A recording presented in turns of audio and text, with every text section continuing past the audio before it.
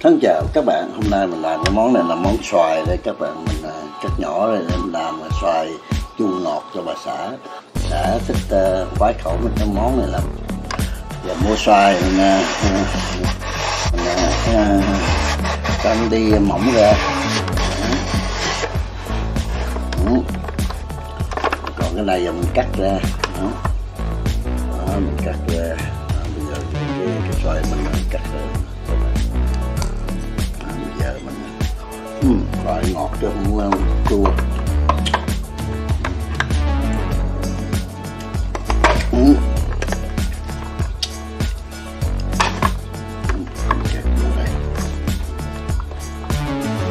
Ăn cho nó chết dịch rồi con ờ, vi trùng ờ, vào trung cộng.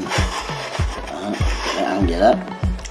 Ăn nó có có vị chua nó ngon giờ là giờ kiểu như là tiêu không có ra.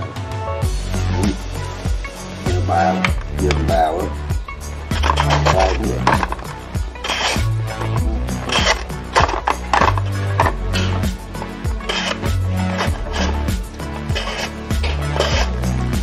tại các bạn nói là là cũng đừng vậy thôi gì đâu.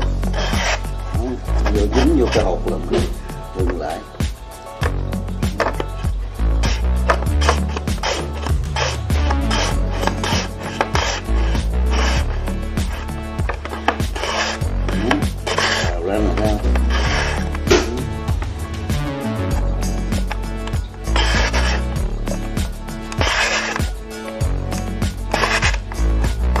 cái hộp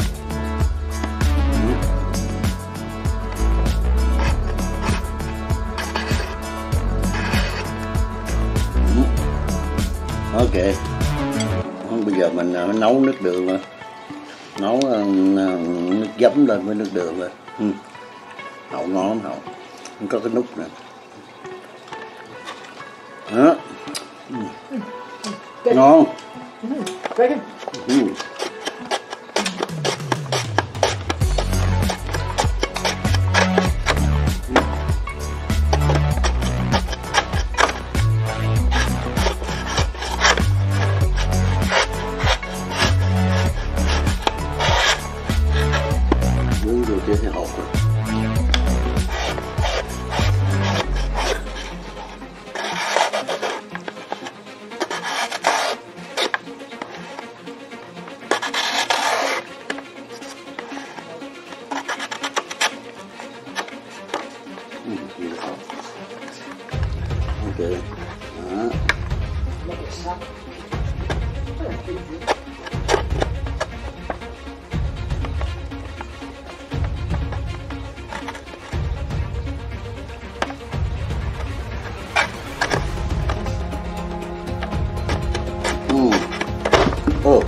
shit. ở cái quá trình của mình này I không know.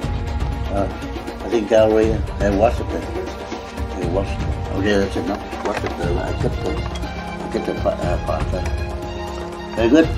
Sweet mango. Mango sweet. Good. Mm. Mm. All right. Mm. Done. Ah, à, đã xong rồi đây các bạn bỏ vô hũ đây ở trong hũ ăn khoảng chừng vài ngày nữa là bà xã sẽ có món xoài ờ, ngâm ờ, ngâm chua ngọt. Ừ.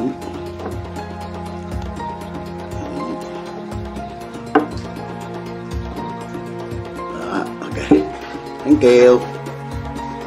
Thank you very much. Bye.